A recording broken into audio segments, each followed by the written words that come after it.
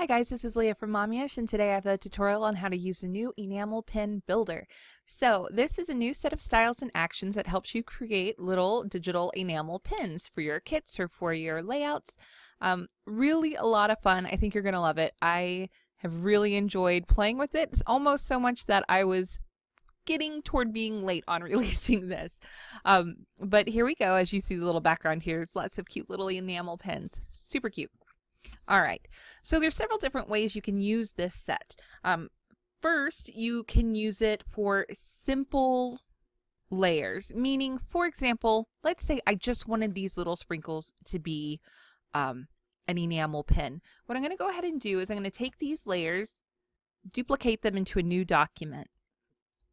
You want to make sure that when you're working with this um, enamel builder, you want to go ahead and have your layers uh, be in their own documents, these little elements that you're working with, so nothing messes up with anything else if you do end up using the actions. All right, so if I wanted to use this one, I'm going to use the action of simple enamel pin. Easy as it says, go ahead, it's um, you use a rasterized layer.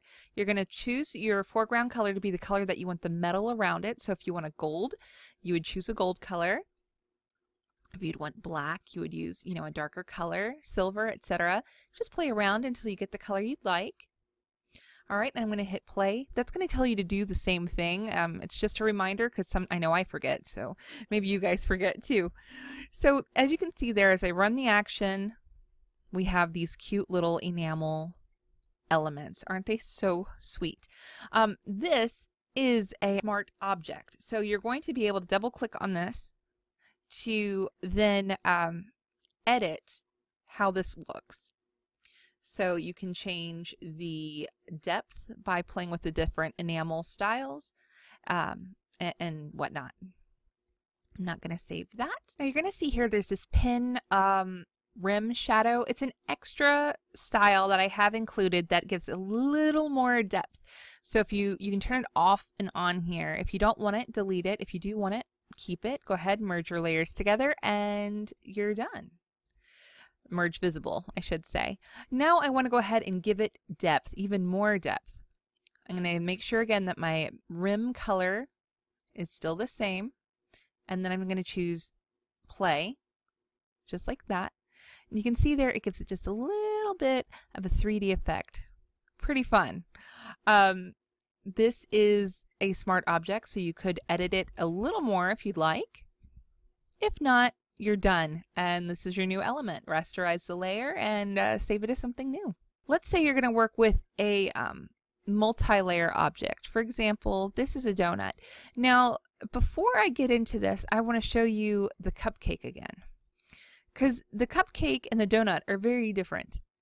Um, the cupcake here, as you can see, if you look at each layer, and this happens a lot when we're playing with um, layered objects and we build things, there's the wrapper, and then you have um, the little icing on top, and then we have each one of the little hearts. Well, when we add the metal rim to all of these, we could use the create metal rim all layers. Before you do that, I want you to go ahead and merge layers together that are like that are not overlapping. For example, I'm merging, in this case, all the hearts together. Now I'm going to go ahead and hit play on this action. You're going to see something strange, but don't worry. As you see here, we can see that this wrapper there looks a little off from what we want it to look like. Well, that's because this what the action does is it takes every layer and it adds the stroke around it, that style, and then it converts that into a smart object. So what we're going to do is we're going to go into that smart object. And we can see here everything that um, everything that's going on. So what I'm going to do is I'm going to take these layers and I'm going to go ahead and I'm going to rasterize them. Rasterize layer style. Then I'm going to go ahead and use my eraser brush to remove the little extra bits that are overlapping. So in this case, um, we had this guy, he's overlapping over here, and a little bit right there. once I have that done, I'm just going to do Control S. It's going to save it, and then it would have updated here in our main file. And from there, um, you would follow the exact same steps that I'm going to show you with our donut. so here again, I have my, my little donut, and he's layered, all cute, ready to go. I'm going to go ahead and use the Create Metal Rim All Layers action. As you can see here, works nicely because none of these layers are um, overlapping one another. So we're good there. Um, I'm going to go ahead and I'm going to apply the metal style. You'll have that. It'll say Rim Builder Metal Rim. That's the style that we're going for. You can also duplicate this layer later on and you would use this one for the extra depth. That guy right there. Um, it's called the undershadow. so we're going to keep him too, but we're going to kind of turn off his visibility now while we get going. Then we have all of these layers. I could go ahead and just simply apply an enamel style and, and say, okay, I'm, I'm done. Just, you know, pick the one that I like the best and, and be done with it. But it doesn't quite look right yet. Well, there's a few reasons for this. When enamel is poured and painted in, it's going to pull around these little raised bits, giving it this look that it has, you know, that depth. Whenever we are playing with these layers, it's filling in the entire layer as if that was the one bit. Well, we don't want that. So what we can do is just use our selection tool. Um, and choose the correct layer. That helps as well.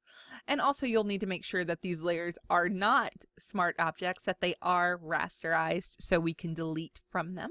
Also important. So again, just using my um, magic wand to select the area around, I'm going to go ahead and inverse, and I'm going to delete from the icing. Now that looks the way I want it. I'm going to also do the same thing with the donut layer. I'm going to take the icing layers, or I should say layer, but I'm using my selection tool twice. Again, I'm going to inverse, delete that from the donut, just like that. And once I add the metal rim back, it's going to make way more sense. See? Now it looks exactly like we'd like it to. Um, from this point, I'd probably change which style I use for a few of these just to kind of play around. Again, there's several different, some are thicker, some um, are deeper, some are not quite as deep. Very cute. You can play around with those until you're happy with the way it looks. Um, I'm going to take one moment here to double click on this again so I can remember what is the color of the metal because I almost forgot. Again, that's going to have to be our new foreground color. So he's changed. I'm just going to close that. I'm going to go ahead. I'm going to merge all of these into a smart object. So selecting all of them, converting it to a smart object. Now I'm going to use the give it depth um, action. As you can see there, he's added a bit. I'm um, my document needs to be a little bit bigger, but don't worry, it didn't cut it off. It's all still there. And actually, if I go ahead and image, change our canvas size to 12 by 12, you can see what he looks like on a big old sheet of paper. So actually a pretty decent size pin. Uh, in this case, that one, he's a little bit larger, but I love it. I love it. So that's it. That's how you use this set. It's really not as scary as it might seem. And in fact, if that seemed a bit much to, to deal with, if it seemed a little crazy for you, don't worry. I'm going to show you another way around it um, to end this video. So I'm going to go ahead and close this document and we're going to play with our cupcake this time. Now this cupcake is a pretty large graphic, so I'm going to go ahead and scale this down. I want it to be maybe three quarters of an inch um, tall. So I'm going to put 0.75 IN. As you can see there, much, much smaller.